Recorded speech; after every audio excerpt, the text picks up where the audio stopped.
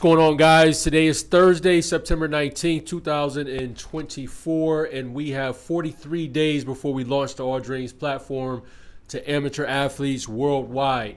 Today, the Dreamers Vault Spotlight is a young guy that, man, I really, really love this kid, man. Um, his name is Miguel. I met Miguel in May of 2022. Miguel's story is one of the reasons why I landed here in Cartagena, Colombia.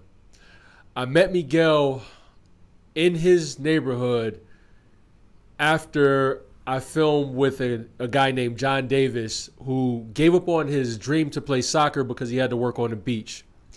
And if you've watched any of my content, if you've been along this journey, you've probably heard this story before. I met John Davis the very first time I came to Cartagena on vacation.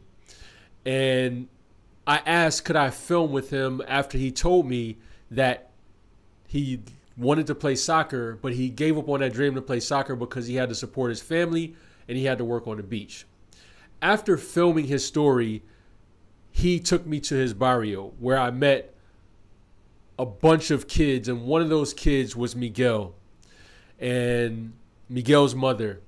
And I still have a relationship with Miguel and his mother today. Miguel has, you know, we've helped Miguel. We've launched a, a, a All Dream Slugger uh, clothing collection for Miguel. They've sold tons of shirts in order to support his dream. Miguel was one of the first athletes that we supported, we had somebody else support him for his training. We supported his training as well. And he is a pioneer of this platform. So, big shout out to Miguel. He's around 17 now, and he's still going after that dream to play baseball. And we're hoping and we're praying we can help him get to the United States, get an education, and possibly take his dream to become whatever he is going to become. If you have an amateur athlete that you're supporting, you want to sign them up today at dreamervault.com.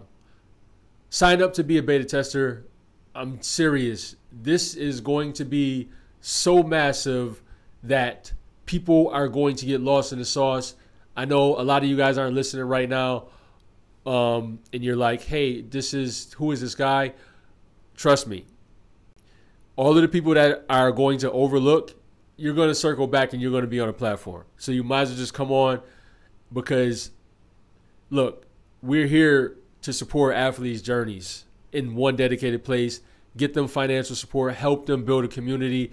This is what All Dream Sports is. We are here to support 1 million athletes by 2033.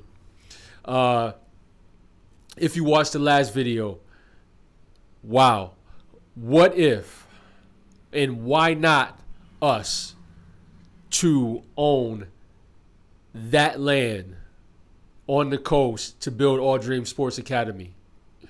What a story that would be. What a story that would be. Um, it's going to take a lot of work. I've never been afraid of a lot of work. I've never been afraid of the grind. I've never been afraid of none of that shit. So, but it's chilling to see the possibilities and to think the possibilities and to visualize the possibilities of what that could be. Man, man, a kid, a kid from Eastside, Buffalo, New York, now a man. Um,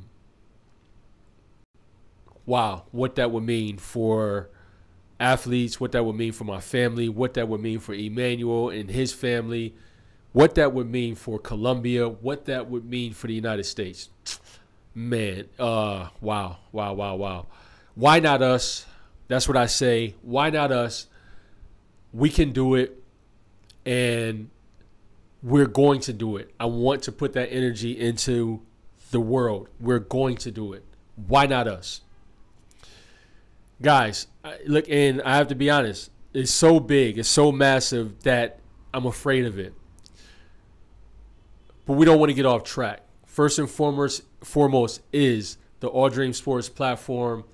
we have to get athletes on there sharing their, you know, sharing their sharing and documenting, capturing, storing their sports journey. Uh, we have to have people that are supporting these athletes. We have to have these athletes building their community. And that's what we're going to do, right? That's first and foremost. That's the first line of business. But we always have to have that next step here and the vision for where we're going to take this. Uh, just a regular day today. We have like so many plots, so many different opportunities of land that, like I said, is going to happen. It's just about where. Okay, it's going to happen. It's just about where. Um, working on a pitch deck today. I know I said this like 10 videos ago, uh, but all of these things is progressive because as a founder, I'm doing so many things at one time. Like sometimes I had to put something aside to go back to be like, okay, let's dive in and do some deep work on this. So that's what uh, I'm doing today. Last night I didn't play basketball. Man, it was I should have because it was really really competitive. And I met a guy named Francisco Coda from Italy. Very very good player. He played in Italy as a professional. Um, he's only 32, and now he's a YouTuber, and he travels and makes videos uh, about the dangerous places in the world. So, man, uh, but his content is in Spanish or uh, Italian. So it's, it's, really, really good content, but I can't understand it. So, um, yeah, it was cool meeting him. Man, competitive run. Friday, I will be there to play. Other than that, guys, just a regular Thursday in the office and um, excitement. And uh, yeah, that's what it is. Peace, man. Peace. See you guys tomorrow.